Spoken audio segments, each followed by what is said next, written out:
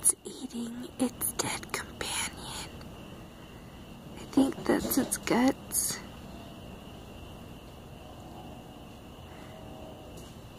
And then it has this weird hole on the side of its body. It's really